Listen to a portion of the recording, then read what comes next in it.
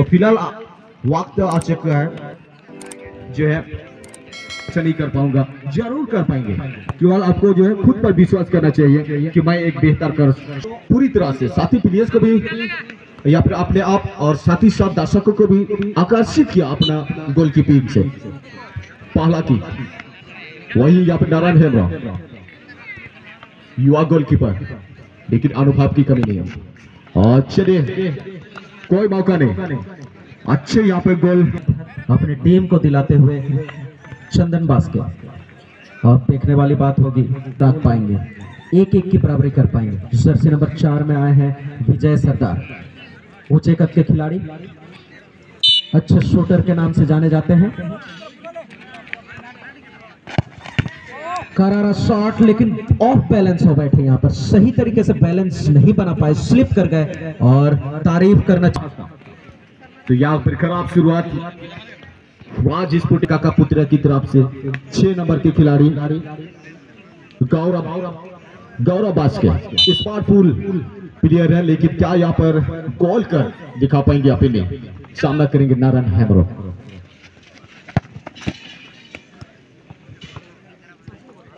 Grounded shot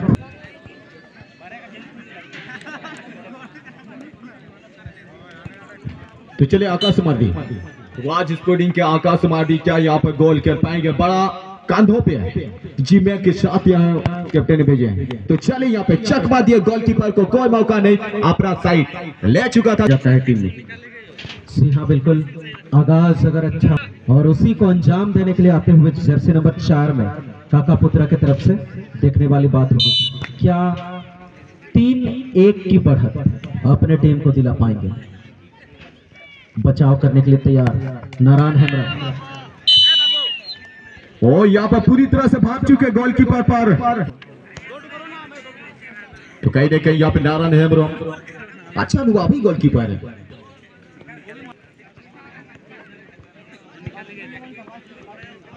Ajay सदा तो आपको क्या लगता है संजय यहाँ पे अजय?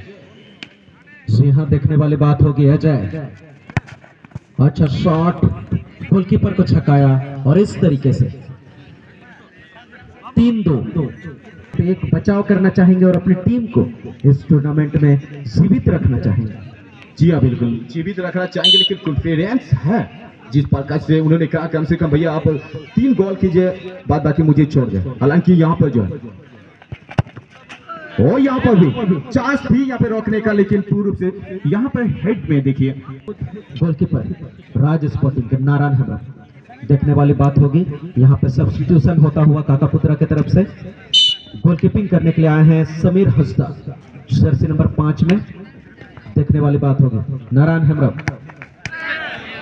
काफ़ी खराब शॉट कहूँगा लूज शॉट और इस तरीके से अपना जीत सुनिश्चित करते हुए काका पुत्रा की टीम और इस तरीके से सेकेंड राउंड के लिए क्वालिफाई करते हुए।